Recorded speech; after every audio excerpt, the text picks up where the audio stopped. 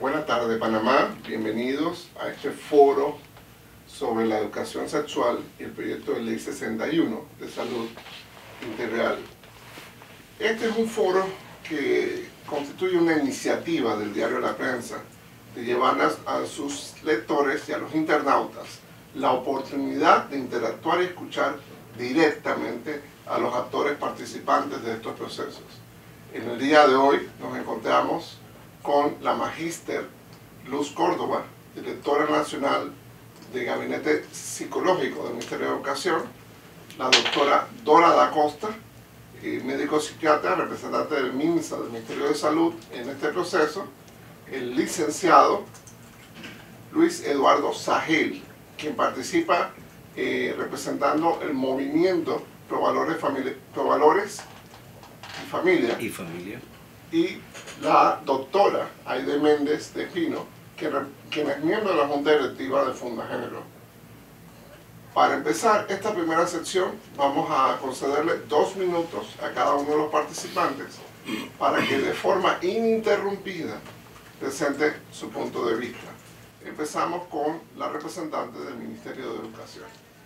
Buenas tardes, gracias por la oportunidad que nos brindan de explicarle un poquito la iniciativa del Ministerio de Educación de eh, elaborar un borrador de guías para eh, los docentes de nuestros centros escolares para que trabajen con nuestros niños, niñas y adolescentes en un programa relacionado con la sexualidad.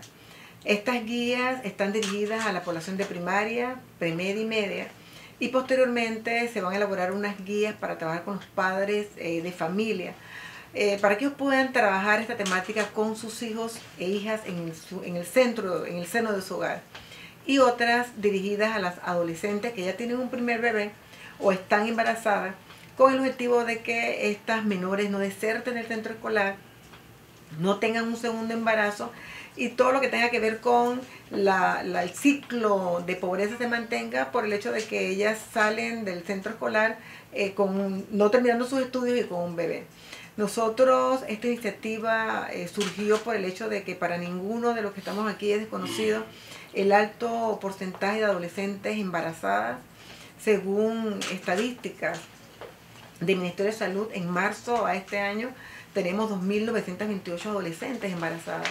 El número eh, creciente de infecciones de transmisión sexual, de VIH y SIDA, eh, jóvenes de 10, de 10 a 12 a 29 años infectados con VIH y SIDA. tenemos una, una, una problemática de eh, salud pública que tenemos que abordar y por eso como iniciativa propia el Ministerio de Educación se abocó a la elaboración de este compendio de borrador, que en este momento son borrador de guía, que están siendo revisadas por un grupo de personas para eh, posterior eh, eh, validación e implementación. Muchas gracias. Don Luis Eduardo. Bueno, muy buenas tardes. realmente durante muchos años 28 años hemos trabajado con la niñez, hemos estado trabajando para mantener la inocencia en los niños, ¿verdad? Entonces nosotros realmente, y quiero poner la plataforma de que nosotros estamos de acuerdo, de que se necesita una ley para que se pueda hacer una educación eh, sexual, afectiva, científica y oportuna. En eso estamos claritos todos, que necesitamos, existe un problema y hay que solucionarlo. Lo que realmente nuestro grupo, que también pertenece esta, esta agrupación mía, el movimiento, que también se ha adversado durante años, han, luchado durante 12 años para tratar de, de, que esa ley, de la manera como está, no permitimos que pase. ¿Y, por qué razón? yo creo que, el pueblo está confundido porque todo el mundo llega hablando que si la ley, que llega eh, haciendo cosas técnicas. Y yo creo que el pueblo hay que hablarle a calzón quitado, como se dice. ¿Por qué? Porque sencillamente el pueblo de caminar, el que no tiene internet, el que no tiene, nosotros tenemos que hablarle claro. ¿qué resulta y, y cuál es la, la, gran controversia que existe entre la ley versus a lo que los señores del Ministerio de Educación están haciendo? Sencillamente es de que ahí esa, esa educación integral en la sexualidad es una marca de la UNFA y de las organizaciones internacionales que han y se han introducido en todos los países de Latinoamérica y que ya tienen un problema. Entonces estamos buscando una solución realmente a los embarazos o estamos tratando de que estos señores que venden medicina hagan negocio. Muchas gracias, don Luis. Eh, doctor Aide. Sí, muy buenas tardes. Eh, yo soy miembro de Fundagénero, que es una organización que mayormente se dedica a capacitar. Eh, nosotros tuvimos también y tenemos todavía una, participación bastante activa en cuanto a, la salud sexual y reproductiva. Esto fue un proyecto que comenzó en 1999, eh, cuando se creó la Comisión Nacional de Salud Sexual y Reproductiva. Eso les tomó tres años elaborar una ley que se consultó, que fue consultada con todos los sectores, pero que cuando se presentó hace ocho años a la Asamblea no hubo clima para que se, se aprobara por razón de que los diputados estaban en una época de elección. Entonces esa ley se archivó y hace en el, en el 2009, seis años después de ese fallido intento, el doctor Cristiano Adames presentó un antiproyecto que había sido modificado y consensuado también por un grupo de ONG. ¿Qué pasa? Que esa ley, desde que se inició, de sus principios, esa ley, la situación real del país cambió. Y ahora hay tantas leyes que obligan al Ministerio de Educación a dar sexualidad y reproducción y una enseñanza integral. Integral quiere decir afectiva, que, que comprende diferentes ámbitos. Y, y, hay tantas leyes, la ley de igualdad de oportunidades, el, decreto ejecutivo que la, que la reglamenta, los compromisos de Estado, la convención. Entonces esa ley ya ya este, volveremos a tener oportunidad de profundizar estos temas. Doctora Da Costa. Sí, buenas tardes. Eh, creo que es importante que ya los compañeros panelistas han hablado del problema vinculado a la salud pública, porque cuando el porcentaje alto de adolescentes embarazadas se convierte en un problema de salud pública para ellas y para sus criaturas. Pero también el que nuestros adolescentes están siendo expuestos al VIH-Sida y que se convierte en una tercera causa de afectación a este grupo de población, está diciéndonos que necesitamos políticas públicas que garanticen la salud y el bienestar precisamente de nuestros niños y adolescentes. ¿Qué pasa cuando hay una iniciativa que la doctora Idea ha señalado muy bien, viene de muchísimos años, pero que ahora es retomada eh, desde el año pasado, discutida con todos los sectores y que resulta que en un momento determinado, pues esta, eh, esta ley está en segundo debate para ser considerada y se, se ha planteado claramente por el ponente, que es el doctor Adame, que puede ser susceptible a algunos cambios.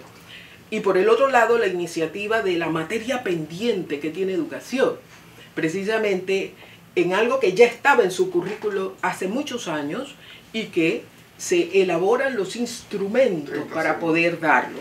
Estas guías que muy bien la licenciada Córdoba señala que va para los niños, los adolescentes, los padres de familia y las eh, adolescentes que ya han tenido niños. Entonces creo que son dos propuestas que no, se, eh, no hay ningún tipo de encuentro ni de choque entre ellas, sino por el contrario, la ley garantiza que haya una política permanente y estable frente a la misma. Excelente, muchas gracias por sus aportes. Le recordamos a todos los internautas y lectores del diario La Prensa que pueden consultar el proyecto de ley y los borradores de la guía en la página web de la prensa, prensa.com.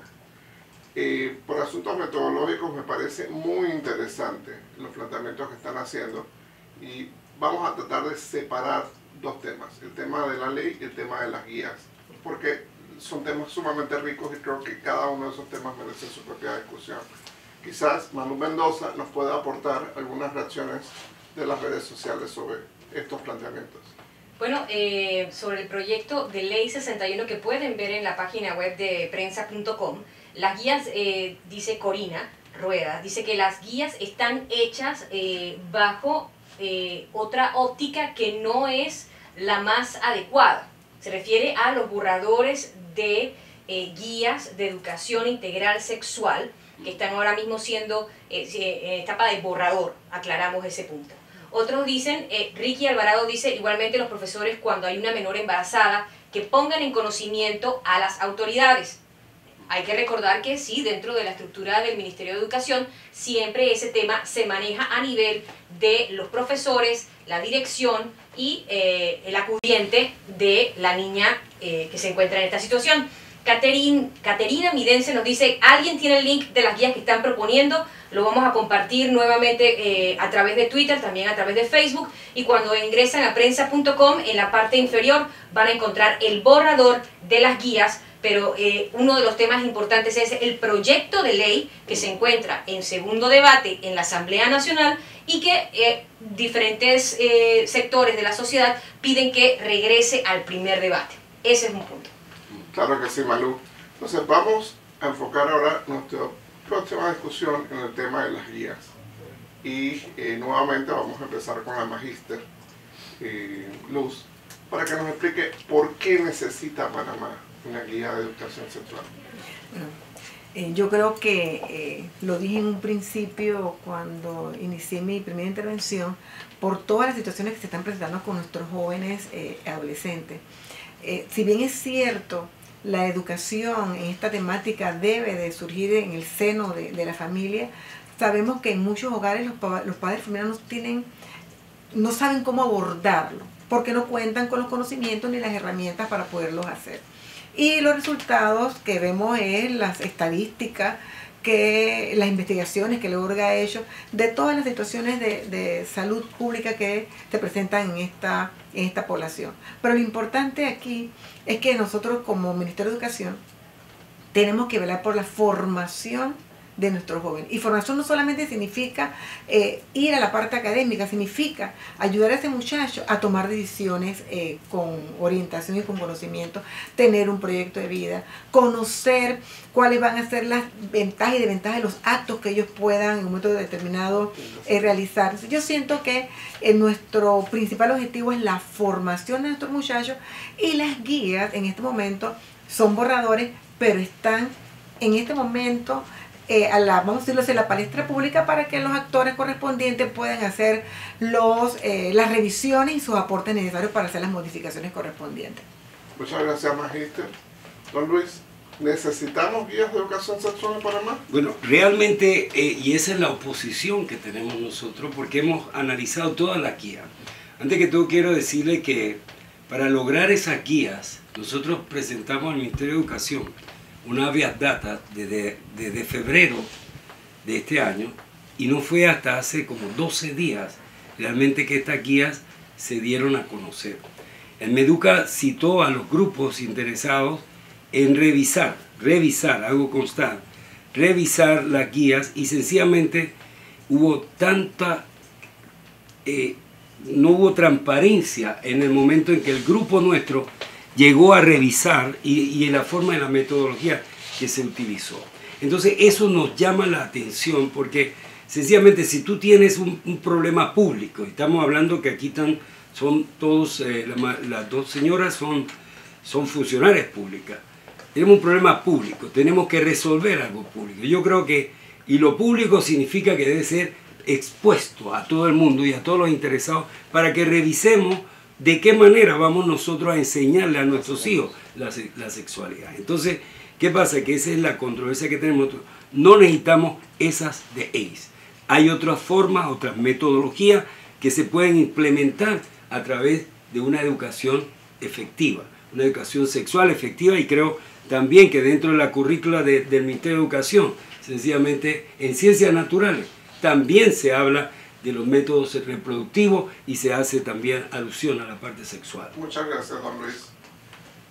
Doctora Aide, eh, ¿es posible hacer otra guía que no sea la que siga el paradigma del ACE? Bueno, yo creo que es que hay, hay un error en cuanto a, al ACE. El ACE es educación integral en sexualidad. Sexualidad educación y sexualidad no creo que haya ningún, ningún problema con esas dos palabras. Aparentemente la palabra es integral. Y la palabra integral no quiere decir más que, igual que afectiva, que comprende varias etapas y varios elementos dentro de esa educación. Que no se le va a educar al niño solamente sobre la parte biológica, ¿no? Sino que también de la parte afectiva, de los valores, de sus relaciones con otros niños, como en efecto yo he revisado las, las guías y habla sobre eso, precisamente, sobre las relaciones entre los niños y las niñas, esto, la parte afectiva, los valores, para que ellos tomen su propia decisión. Entonces yo no sé cuál es el miedo que hay con la palabra integral. Simplemente nosotros tenemos que concentrarnos en las guías panameñas, que son las que han elaborado 60 expertos del Meduca, ya atrasadamente, porque eso, eso tiene años de, que, tener que haberse cumplido las leyes y no se han cumplido. Y yo felicito al Meduca porque por fin estamos viendo un avance, ¿no? de que se está haciendo algo por la salud sexual y reproductiva de los niños. Pero yo no entiendo la palabra integral por qué da problemas. Realmente no, no comprendo. ¿Le puedo contestar? Sí, por favor. Ok, realmente eh, usted lo plantea todo así, muy bonito, pero realmente lo que a nosotros nos preocupa es que las guías están impregnadas con ideología de género. En todas las guías tenemos ideología de género. Entonces, esa integridad que usted me está diciendo, sencillamente es eso, es la ideología. Por eso que yo hablo de educación sexual. Yo no hablo de educación sexual integral en la sexualidad, sino de que necesitamos una educación sexual para los niños. Eso estamos claros, creo que todos los panelistas, ¿sí o no? Hay un problema público que hay que resolver, que también ha sido falta de actitud de todos los gobiernos de ponerle el, el cascabel al gato. ¿Por qué? Porque estamos entretenidos en otra cosa cuando en vez de resolver los problemas del país, estamos resolviendo otras cosas. Entonces, ¿qué sucede? Esa ideología de género es la que a nosotros nos preocupa como padres. Y, quiero decirles algo, aquí no entra ni religión ni nada de los tiros, porque nos han criticado que somos fanáticos religiosos, que somos grupos retrógrados.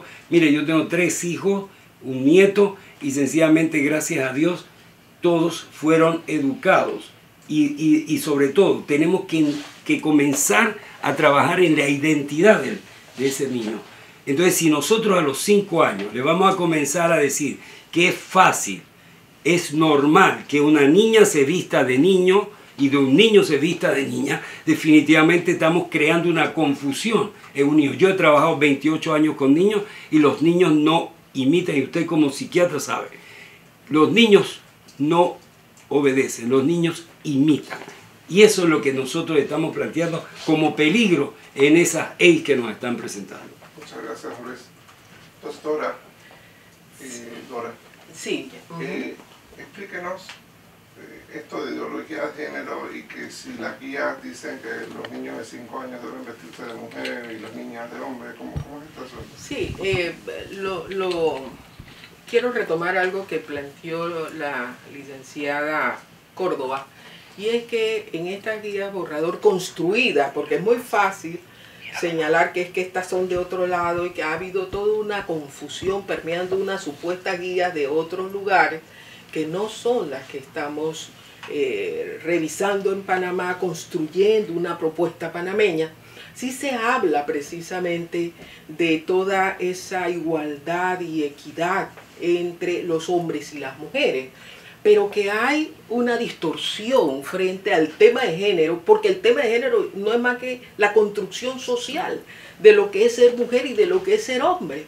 Y en ese sentido, una sociedad que en un momento dado tiene mucho desbalance en relación a lo que le toca a las mujeres y la que, lo que le toca a los hombres, van siendo elementos distorsionados que van buscando la forma como desvirtuar el tema de las guías. Pero las guías, lo importante es que es una propuesta que hace Meduca para que sea revisada y aportada. Dos, que educación integral implica también los valores, los proyectos de vida y las responsabilidades, además de los derechos y los deberes que están allí y que creo que todos los padres y las madres de familia deben revisarlas para ver y estar conscientes de lo que sus hijos irán a recibir eh, en particular. Gracias, doctora. Magister Córdoba, una pregunta directa. ¿Las guías aunque estén en etapa borrador, le enseñan a los niños a masturbarse? No, no hay tema de masturbación en las guías. Eh, las guías están dirigidas a la construcción afectiva, social de nuestros niños, niñas y adolescentes. Buscan que el muchacho tenga una formación científica. Poniendo el ejemplo del panel ahorita que estamos por internet, vamos a pasar por internet Nuestros muchachos tienen la información por internet, la tienen en un celular. ¿De qué queremos nosotros con estas guías? Que el muchacho tenga una información científica con personas preparadas para ello. Para estas guías vamos a capacitar al docente. Que tenga una información donde la persona que se la va a dar pueda orientarlo, pueda guiarlo. Es lo que se quiere. Porque no podemos tapar el sol con la mano. Nuestros muchachos reciben información a cada mm. momento y en todo lugar y no necesariamente la mejor información. Entonces, es lo que queremos, que nuestros muchachos tengan, eh, se formen con los conocimientos adecuados para que al final del camino la decisión que tome sea la decisión correcta en base a su futuro y, a su, y el respeto a su persona. Muchas gracias. Para los internautas y lectores que se están incorporando en este momento, este es el foro en vivo del diario La Prensa Hoy, martes 12 de julio del 2016, contamos con la presencia de la magíster Luz Córdoba del Ministerio de Educación, del licenciado Luis Eduardo Sagel del Movimiento de Valores y Familia, de la doctora Aide Méndez de Espino de la Junta Directiva de Funda Género y de la doctora, doctora eh, Da Costa del Ministerio de Salud. Vamos en este momento a pedirle a Manu Mendoza que nos lea algunos comentarios de la web. Bueno, eh, Frank Ali Ortega nos dice la educación es un derecho y mientras que la iglesia se meta en un tema de Estado, esto nunca cambiará.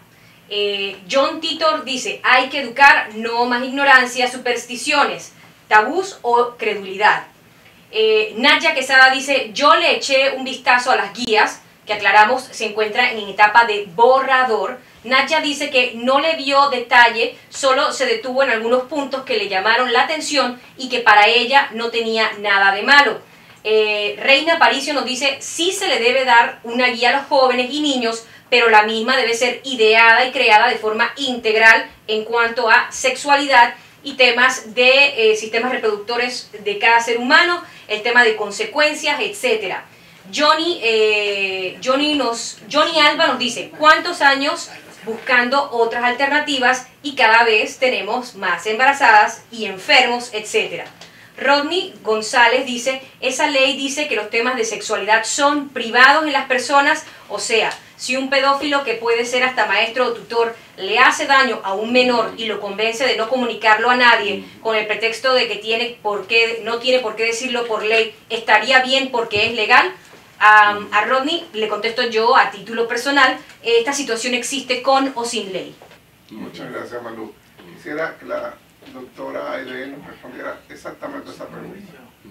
Si existe este planteamiento de, privacidad, de respeto a la intimidad del menor, del adolescente, eh, ¿no es eso contraproducente? ¿No favorece eso a la pedofilia? ¿No favorece eso al insecto, a la violación, al abuso sexual? No, la, confidencialidad se refiere a otra cosa totalmente diferente.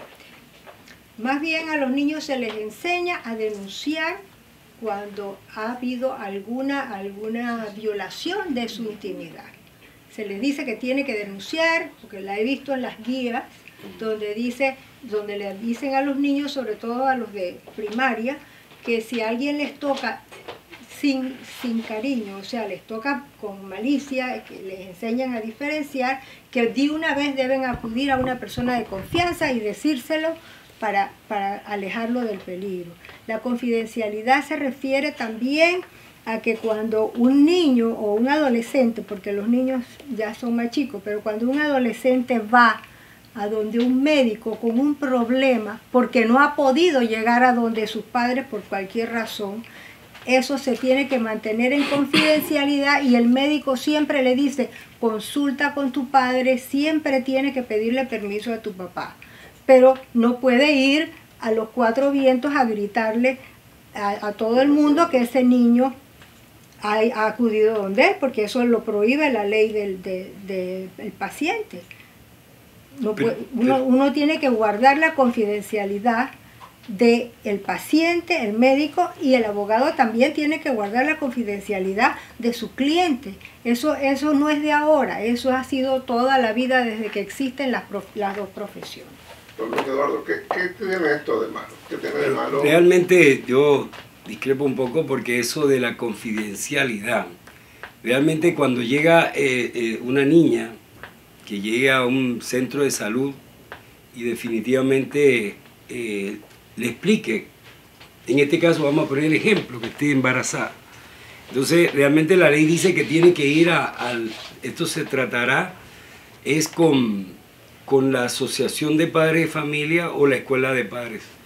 Entonces, ¿dónde queda el papá? ¿Dónde queda el papá ahí? O la mamá o la abuela, porque siempre hay un tutor o una abuela que está metida dentro de cuidado de ese niño o esa niña. Entonces, primero pasa a, esto, a estas organizaciones que no todos los días están ahí, como quien dice, eh, no todos los días se reúne la Asociación de Padres de Familia, entonces dígame usted, la niña va a quedar sin que el padre, mire, en una escuela privada, en una escuela privada, sencillamente cuando un niño se siente mal o que hay algún problema, al primero que llaman es al papá, lo llaman inmediatamente. Entonces por eso es que es peligroso peligroso realmente este tipo de leyes que yo le he llamado chorizo, porque estamos hablando de una cosa y después nos meten por acá la parte reproductiva. Entonces eso es lo que, lo que nosotros tenemos de verdad que ser conscientes de que tenemos una responsabilidad, porque yo creo, ustedes, ustedes como funcionarios les queda tres años por estar aquí, pero nosotros tenemos que seguir continuando con una lucha para la niñez de este país. Gracias, don Luis Eduardo. Doctora Da Costa, esta guía y esta legislación de alguna forma rematan la patria potestad, queda algo de patria potestad después de la guía, de la de ley, o, eso ya es ficción en Panamá, ¿cómo, cómo es la cosa? Sí, la, patria potestad eh, no es absolutamente afectada ni por la ley ni por la guía. Yo creo que esa cosa tiene que estar bastante clara, ¿no? Pero me gustaría opinar sobre el punto anterior que se refiere a la confidencialidad todos los médicos y médicas tenemos la responsabilidad de mantener una confidencialidad, excepto si hay un daño al interés superior y el interés superior es el niño que está siendo tocado o manipulado y nosotros tenemos que llenar un formulario de violencia doméstica o de abuso sexual. Si no, somos cómplices de algo que está ocurriendo. Así que para nada significa encubrir a un pedófilo o a un abusador por el contrario, ¿no? Entonces, esto me refiero al tema de salud. Pero sí es importante que nosotros entendamos de que al elaborarse las guías para los padres de familia, es aportar un instrumento para que yo, mamá, pueda hablar con mis hijos sobre el tema, porque es que resulta que muchas mamás nadie les habló ¿Y cómo lo van a hacer si no tuvieron esa oportunidad de aprender a comunicarse con sus hijos sobre estos temas? Porque eran temas tabús y para muchos sectores todavía siguen siendo temas tabús. Entonces necesitamos orientarles para que lo puedan hacer y hacer bien, porque los padres quieren hacer bien las cosas para sus hijos, ¿verdad? Muchas gracias, doctora. Magister Córdoba, eh, para tratar de ponerlo de una forma diplomática. En el momento que vivimos, en que cualquier chico con acceso a Internet puede conseguir lo imaginable y lo inimaginable en Internet, en las redes sociales, en YouTube, de los mismos compañeritos, los celulares, los intercambios que hay, ¿no es un poco ingenuo decir que la guía va a neutralizar o de alguna forma mitigar el efecto que, estas redes, que esta tecnología tiene sobre los jóvenes? Mire, como, como cuando yo eh, me reúno con los padres de familia, eh, yo le manifiesto que ningún padre de familia eh, puede tener a su hijo amarrado 24 horas del día a su pierna. ¿Cierto? Ellos van a estar en el mundo donde van a ver la televisión, van a ver el internet, cualquier información por las redes sociales. Pero si usted a ese niño de los primeros niveles de enseñanza le va, lo va moldeando, le va enseñando a discriminar entre qué está bien y qué está mal, créame que un momento determinado puede ver todo el internet que quiera, pero va a saber qué está bien y qué está mal, qué puede hacer y qué no puede hacer. Va a poder tomar sus decisiones porque tiene una formación previa. Va a tener el criterio suficiente para determinar esto es lo correcto, esto no es lo correcto. Definitivamente el muchacho, no porque existen unas guías, vamos a decir, no va a haber más adolescentes embarazadas, ya que esto es un problema multicausal, multicausal. Y este, sí también quiero aclarar un poquito cuando el, licenciado manifiesta de, que se va a llamar el Club de Padres y Familia. ¿Quién es la persona responsable en un centro de salud? ¿Es el padre o el acudiente? Y a esa persona es la que se va a llamar en cualquier situación que esté afectando en un momento determinado al menor. ¿Es al padre o al acudiente al padre? A más nadie. Muchas gracias, Magister. Eh, Manu Mendoza nos dirá hacer algún comentario. Eh, bueno, eh, Víctor Bazán dice, estas guías buscan pervertir hablan locuras como ejemplo, dicen ser masculino o femenino, que eso se aprende. Eh, Corina Ruedo nos dice que ella dijo que las guías y el proyecto de ley 61 se ha, hecho bajo el marco de leyes panameñas y con el respeto adecuado. Estamos editando los comentarios debido a, la cantidad que estamos recibiendo a través de la página de Facebook. Praxda Soara dice que la resistencia de los padres es una cómoda máscara para sus temores. Giré Sánchez nos dice que actualmente los niños tienen acceso a todo tipo de material, pero que esto no significa que hay que educarle en temas que no van acorde a su crecimiento y desarrollo psicológico. Eh, Janet Mora nos dice, esos que no quieren ley ni guías son los mismos que juzgan y critican a las adolescentes embarazadas. Y Ricky Alvarado nos dice, somos los que tenemos la patria potestad de los niños. Muchas gracias. Don Luis Eduardo, una pregunta que se hace mucha gente en la opinión pública.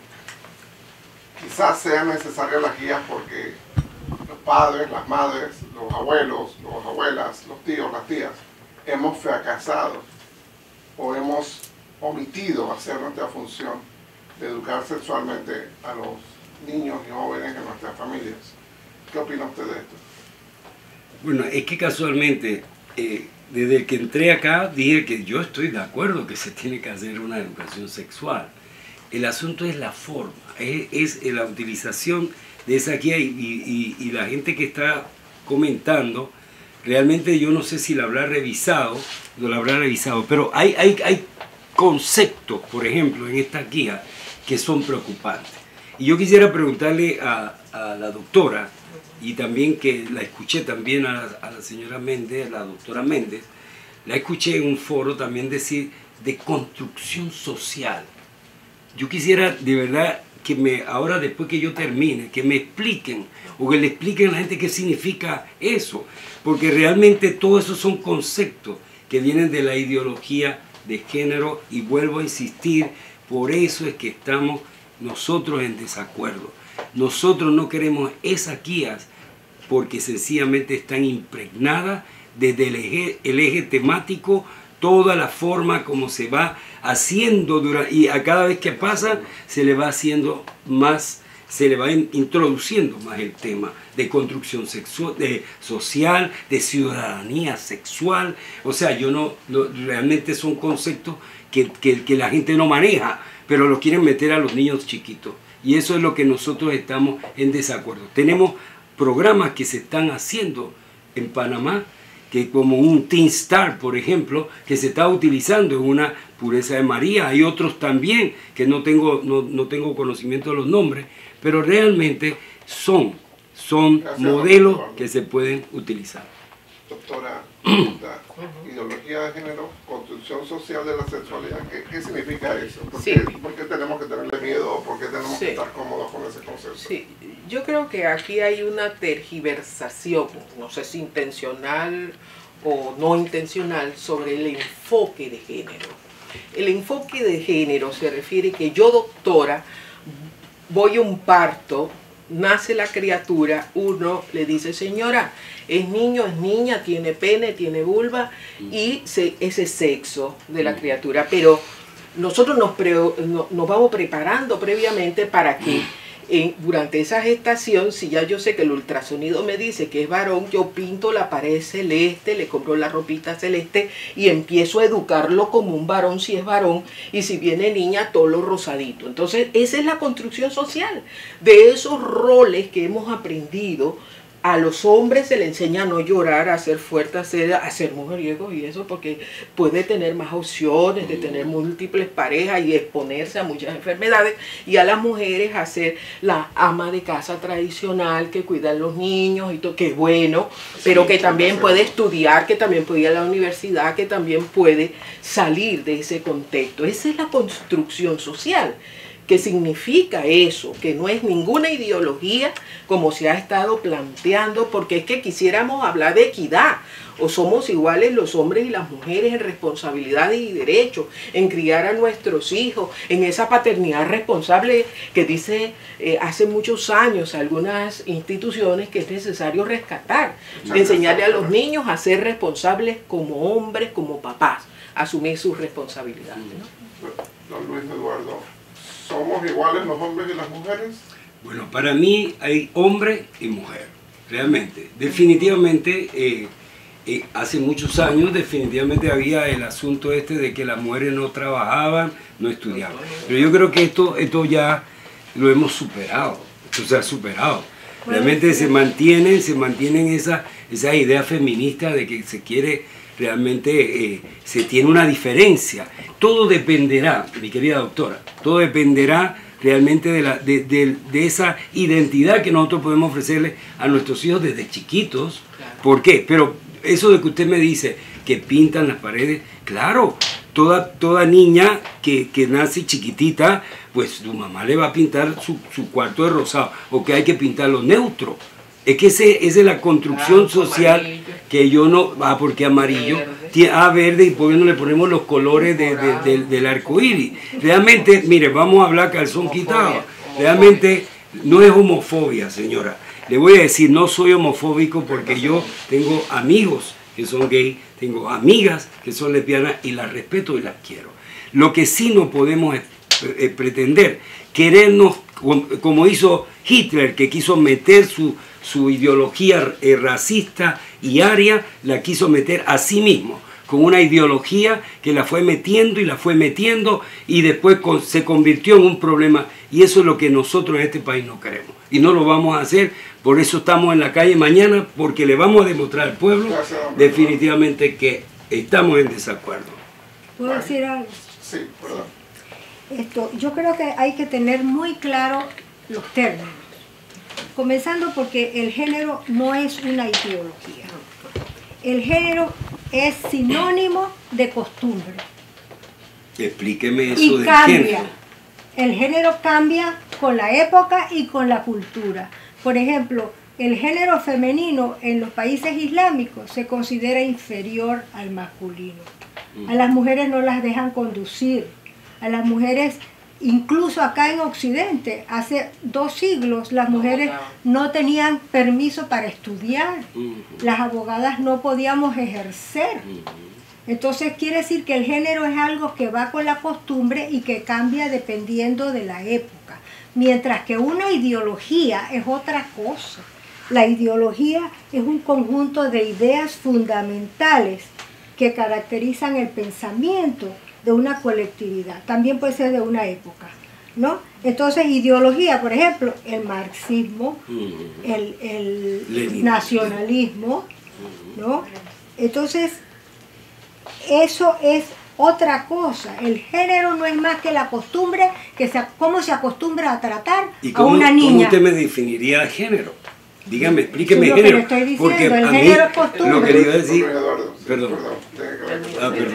Yo le estoy explicando que el género no es más que una costumbre y como la costumbre es una construcción social, no me diga. ¿no? La costumbre, dígame si no es una construcción social. Realmente no es una construcción social, pero Claro que sí, porque lo construye hombre la o mujer, sociedad. hombre no, o yo mujer. digo la costumbre. El sexo es otra cosa. El sexo sí. Nacimos hombres o nacimos mujer. Correcto. Eso no se Eso puede cambiar. no lo puede cambiar. El género sí se puede cambiar porque las mujeres pueden ahora estudiar, pueden ahora ser médicas y antes no podían. Entonces la costumbre cambia, pero el sexo no. El sexo se mantiene igual. Gracias, doña Luz.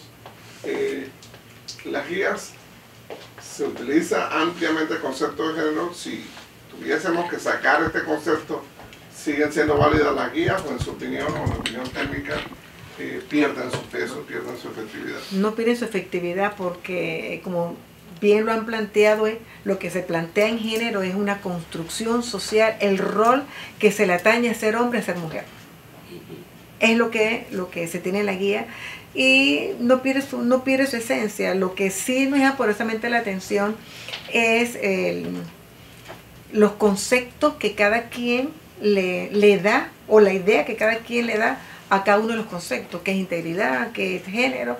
Eh, lo cierto es que lo que nosotros buscamos con estas guías es que nuestros jóvenes, niños y niñas tengan la oportunidad de una formación en sexualidad que tienen eh, posiblemente muchos niños que están, como bien lo planteó el licenciado, en las escuelas particulares, que sí se le da la información en los centros escolares. Y nuestros niños en las escuelas oficiales no tienen esa oportunidad. O sea, tenemos que ser, entonces ahí entraríamos en la equidad que estamos hablando. Igual, igual, igual oportunidad tienen que tener eh, los niños que van a las escuelas particulares, que se les da educación en sexualidad, que nuestros niños en los centros escolares, que queremos empezar a esa formación eh, que ellos deben de tener para su crecimiento personal y posterior desarrollo eh, profesional. Don Luis Eduardo, no existe discriminación entre los niños y niñas que van a escuelas privadas versus de escuelas públicas, donde las escuelas privadas como Pureza María o como el Colegio Javier tienen programas muy conocidos y establecidos de educación sexual y aquí nos estamos debatiendo sobre un programa similar para las, las escuelas públicas y bueno, si esto se derrota, los chicos que no van a las escuelas privadas seguirán sin tener acceso a la educación sexual. Bueno, mira, lo que pasa es que nosotros no estamos eh, adversando la ley por, por, por adversarla. Se tiene una propuesta. Nosotros mañana en la marcha vamos a llegar a la Asamblea Nacional y le vamos a presentar al presidente de la Asamblea una propuesta de ley donde sacamos, y esto es tarjeta roja, perdóneme, doctora, pero esto es tarjeta roja para los AIDS. Nosotros no vamos a permitir, no vamos a permitir que la UNPA venga aquí a meter sus tentáculos, porque ustedes como ministerio pagaron un millón doscientos mil dólares. Y ahora yo quiero que usted me conteste dónde está el contrato, porque resulta que lo buscamos nuestro equipo de abogados, lo bajaron ya de la, de la pantalla. Entonces se habla de transparencia. Cuando uno quiere de verdad y tiene la actitud correcta para resolver los problemas, no anda escondiendo las cosas como nos hicieron en el grupo de allá de, de- cuando fuimos al, al, al, al el hotel este, que fuimos allá, sencillamente que tenían todo programado. Cuando no se tiene nada que ocultar, uno es transparente y ustedes utilizan mucho la transparencia, pero realmente no hay tal transparencia. Hay algo que viene por debajo. Yo quisiera saber, y también le pregunto al doctor, porque tengo prueba y lo puedo decir, el señor Cristiano Adame es parlamentario de algo que tiene que ver con la UNPA, que es ICPID, y que tiene que ver con farmacéuticos. Es el negocio de vender las vacunas, por allá por el MINSA, la- el negocio por vender los... los, los. Ahora le vamos a dar oportunidad de que haga su conclusión.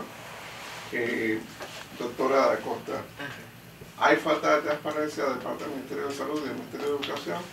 Claro que no, para nada. En la medida en que los borradores hechos por personal panameño se pone a discusión con más de 60 personas de todas las iglesias, de todos los grupos, de los profesores, de los maestros, los padres de familia, entonces, ¿qué se está ocultando? Si lo que se quiere es poner esa propuesta para que sea modificada, para que sea cambiada, para que sea lo que sea, que salga, pero que salga algo que le dé respuesta a estos niños del sector público en especial, ¿verdad?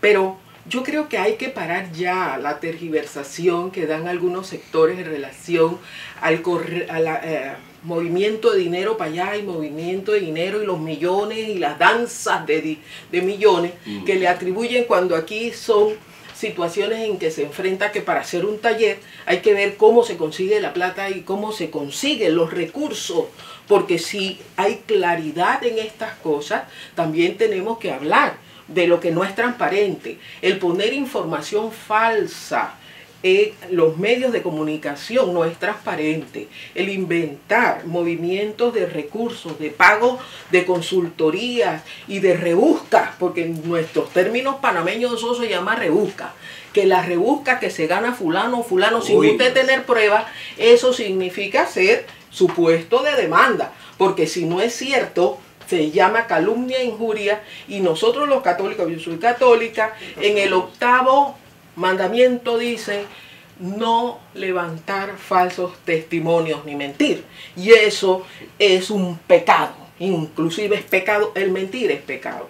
Pero también tiene repercusiones legales. Para eso este, la doctora Aide pudiera hablarlo. Pero me refiero al hecho de que en particular estas guías, si carecieran de transparencia, no se hubiesen abierto, no se subirían a los correos, se han mandado por todos lados para decir aporte de su opinión para que sea incluida en las guías. Doctora Aide. Yo quería, yo quería apuntar sobre lo que acaba de, de decir la doctora Lacosta. Denunciar con pruebas yo las tengo, quiere que se las enseñe, las tengo ahí. Denunciar. Vamos a, escucharlas. me quitaron el, me quitaron mi maletín, pero yo tengo las pruebas. Lo que pasa es que las pruebas no se traen a la prensa. Las pruebas, las pruebas no, se traen a la prensa, se llevan a una fiscalía. No, es que, es que pero si me permite, si me permite, si me permite. Permíteme. No, es que aquí no, la, no las queremos ver porque no podemos hacer no, nada. No, no, yo quiero que, que el pueblo... Luis, por favor, escuchemos a la okay, Vamos a escuchar. Y usted tendrá su, su, conclusión y podrá exponer sus pruebas.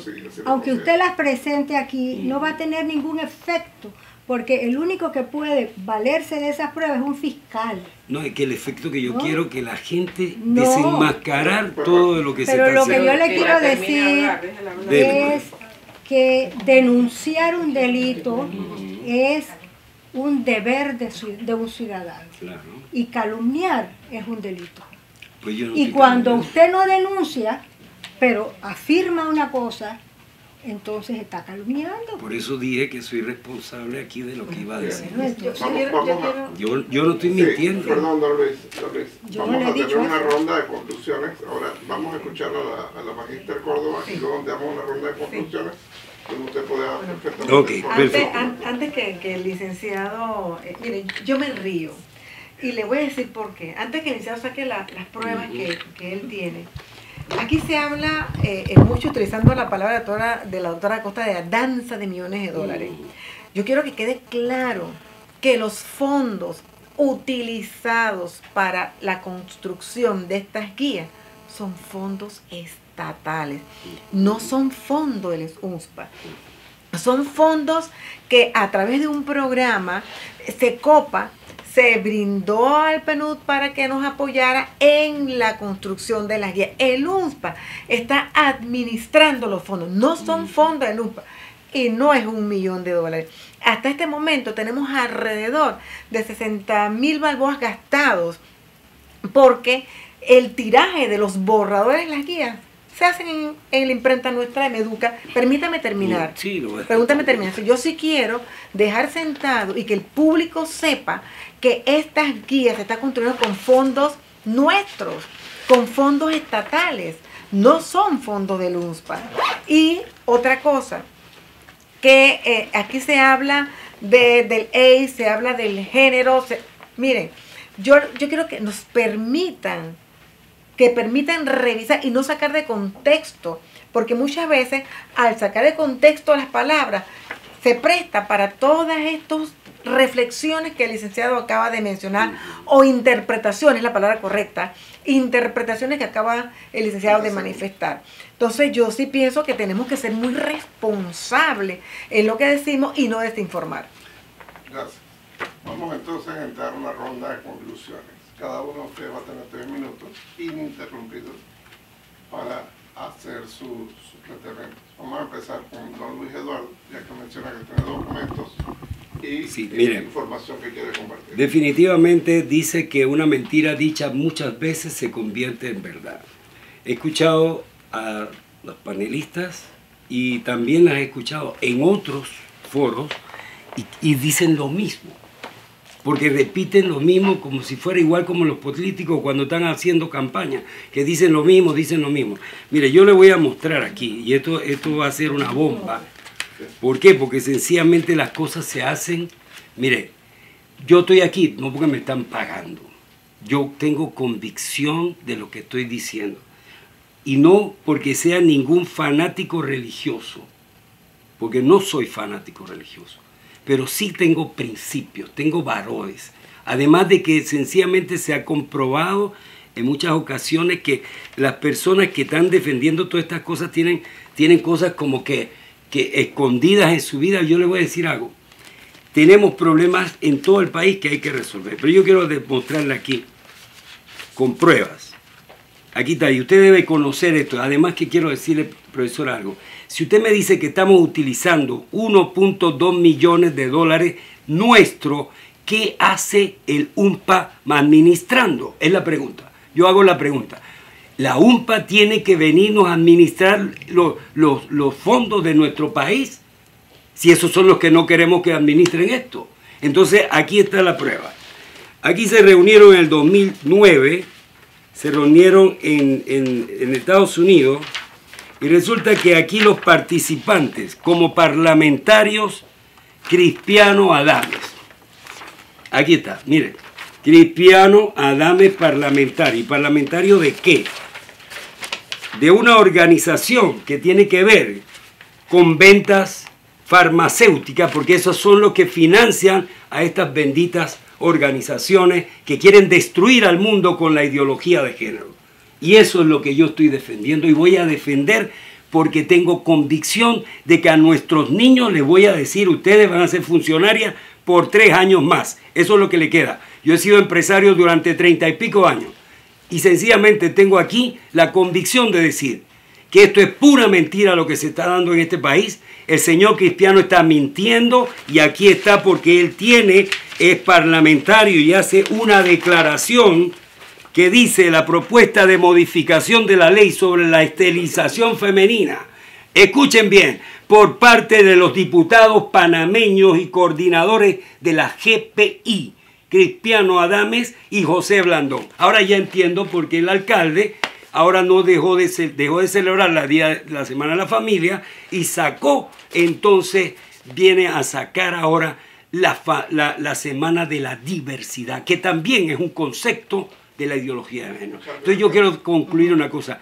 Nosotros estamos de acuerdo que hay que educar al niño, pero lo vamos a hacer bien. No vamos a permitir, porque este país, el 85%, tiene una creencia en Dios. Yo no sé usted cómo dice ser católica y está defendiendo una cosa como esta. Yo no me voy a meter en su religiosidad, pero lo que sí le voy a decir, que nosotros en este país no vamos a permitir esto y por eso mañana vamos a la calle y van a sentir a un pueblo decirle a los diputados, está bueno ya, está bueno que los políticos y los funcionarios públicos que entran por un dinero que se gana comiencen realmente a mentir al panameño, ya está bueno. Muchas gracias, don Luis Eduardo. Eh, doctora Aide, sus conclusiones, tres minutos. Bueno, yo creo que lo que hay aquí es un malentendido, pero grandototote, ¿no? Esto, Estamos, estamos hablando de unas guías de educación sexual para los niños y nos hemos ido a unas supuestas ideologías de género, a unas, a unas coimas o a unas eh, acusaciones de corrupción, cuando en realidad eso no tiene nada que ver con las guías. Perdón, yo Estamos no he dicho hablando- coima, yo he dicho que él es parlamentario de esto. Es Sí, muy pero es diferente. que, es que parlamentario quiere decir que forma parte de la Asamblea Nacional. Eso no es un no, delito. parlamentario allá, no. ¿Parlamentario a dónde? Ya. puede ser parlamentario en De ningún la lado que no sea Panamá. Del continente. Bueno, pero lo que yo quiero decir es que esto es una... La ley no tiene nada que ver con las guías. La ley ya está plasmada en varias leyes y varios convenios internacionales. Lo que tiene que hacer el Meduca ya está en la ley. Y el Meduca no ha hecho más que cumplir con la ley. Entonces, si estamos hablando de las guías, no tenemos nada que ver ni con, ni con los parlamentarios, ni con el UNPA, ni con nada. Estamos hablando de las guías. Y para criticar las guías hay que señalar con el dedito que exactamente no están de acuerdo con las guías. Si no tienen una objeción específica, entonces no podemos hablar. Sí Porque tenemos- yo he sí revisado, yo he revisado la, la- yo he revisado las guías por encima porque son muy largas y no, no las he podido leer todas, pero yo no veo nada pecaminoso, no veo, no veo ninguna de las imágenes que han salido en, lo- en, los, en las redes sociales de dos niños hombres besándose. No he visto ninguna de esas calumnias que han traído a las, a las redes sociales y, y están hablando de unos de unos fallos del Tribunal Supremo de Canadá, tampoco veo ninguna relación con las guías. ¿no? Vamos a hablar de las guías y de la educación sexual de los niños, que es sumamente necesaria. Y punto. No podemos irnos por, por las, por las UFAs, ni la, ni la, ni la eh, corrupción, ni la falta de transparencia. Estamos hablando exclusivamente de las guías. Pero es que todo va ahí. Eh, perdón, combo. Eh, doctora Lacosta. Sí. A modo de conclusión, eh, yo quiero señalar que los espacios que se han abierto a través del tema de la ley y a través del tema de las guías nos ayuda a entender que tenemos un problema en lo cual ya estamos todos de acuerdo, que hay un problema de salud pública, que hay un problema de la necesidad de abordar la educación sexual en nuestras escuelas. Segundo, que estas guías son un borrador, una propuesta que se le pone a los padres, a los profesionales, a toda la comunidad panameña para que hagan sus aportes y les sugerimos que las lean, porque muchas veces la gente las critican y las, las atacan sin haber ni siquiera leído la- las guías y entonces les sugerimos que las lean. Y en tercer lugar, que unas guías que hablan de valores, que hablan de dignidad humana, que hablan de proyecto de vida y habilidades para la vida, es, son guías que le arrojan a, eh, o que le dan herramientas a nuestros niños, niñas y adolescentes a tener cómo enfrentar los problemas de su vida futura. Entonces, creo que son grandes oportunidades. Quienes vayan o no, quienes quieran ir o no a las marchas, es su derecho, ¿ok?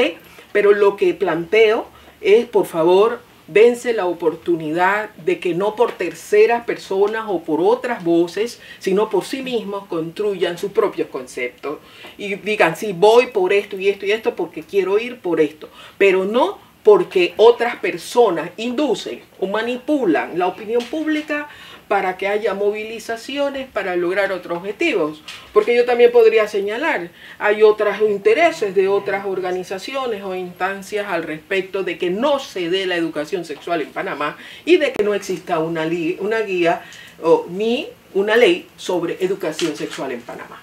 Gracias. Magíster Córdoba, sus conclusiones. Mis conclusiones van en cuanto a la responsabilidad que nosotros como institución tenemos con nuestros niños, niñas y adolescentes. Primero queremos dejar bien claro que es un borrador de guías que ya las que están en las páginas web ya sufrieron una modificación. Tuvimos cuatro días revisando, porque sí, es la revisión del instrumento que se, que se elaboró, revisando el instrumento y que ya se le hicieron las modificaciones correspondientes, que surgió en ese proceso de revisión de las guías. Una vez que ya se hagan los ajustes correspondientes, vamos entonces nuevamente a conformar este grupo de más de 60 actores que se invitó de la, como dijo la doctora La Costa, de las eh, instituciones gubernamentales, no gubernamentales, iglesias, ONG, universidad, para que tuvieran la oportunidad de dar sus aportes. Una vez que ya, como dije anteriormente, se hagan, vamos a volver a convocar a este grupo de personas para que vuelvan a ver si los, los conceptos, las modificaciones que ellos hicieron, pues se cumplieron o no en el instrumento. Posterior a esto, eh, pues se harán entonces las validaciones correspondientes. Pero sí queremos dejar sentados que nuestro objetivo es el respeto a la dignidad, el valor que tienen nuestros niños y niñas y el derecho que ellos tienen y la responsabilidad que tanto ellos como sus padres tienen en el futuro de nuestra juventud. Yo creo que tenemos que apuntar eh, al futuro de nuestros, niños y niñas. A eso es lo que queremos.